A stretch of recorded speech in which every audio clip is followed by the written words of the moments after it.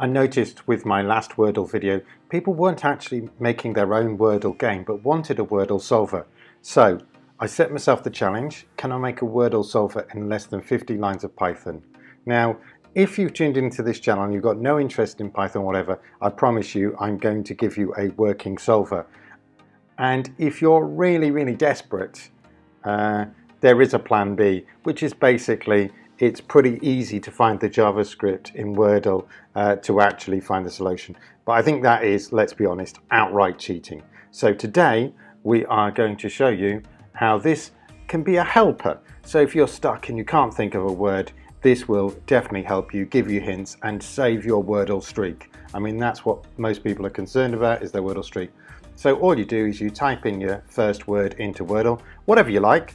Um, it gives you some suggestions if you're not sure. And then with each word, uh, you type your word in and then you type in green for if you see green, yellow if you see yellow, and W if it's wrong or grey. If you haven't noticed, green and grey begin with the same letter and I don't want to be typing two letters. So let's crack on and see how we can code this beauty up. In this first part we are putting together our variables, and we're going to start loading up the file. So we always do a try and except and I always use the with which is the much more modern form of Python. Much safer because it guarantees that it's going to close the file. So in this case we're doing that and we're stripping out any extra characters except when we can't find the file in which case I say file not found. And finally we print some good starter words. These are the ones that uh, apparently are good and we're ready to get started on the main part of the code. So what we need to do first is you get your six guesses. So we uh, start the loop up and this allows you to guess. I've made it so that it only takes lowercase and we use green, yellow and wrong for grey.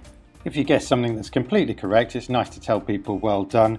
Um, I suspect people stop using the guesser at this point, but if they do, great.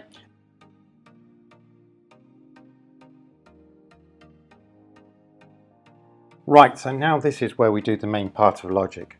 So the first thing we're going to do is go through each word in our tuple. So we're going to go through the entire word list.